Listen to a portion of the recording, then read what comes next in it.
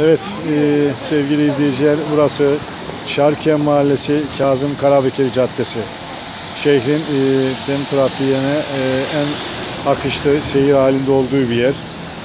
Ve şehrimize şöyle bir gez bakıyoruz. Burası e, şehrin işlek caddelerinde bulunan bir market zincirlerinden birisi bir market ve bakıyoruz yanına evet burası da e, şehrin göbeğinde bir adeta bir çöp yığını bir çöplük gördüğünüz gibi e, bu çöplük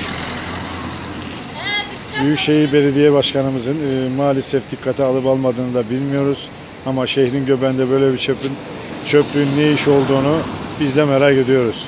Evet gördüğünüz gibi Ordu şehrinin e, ana caddelerinden bir tanesi.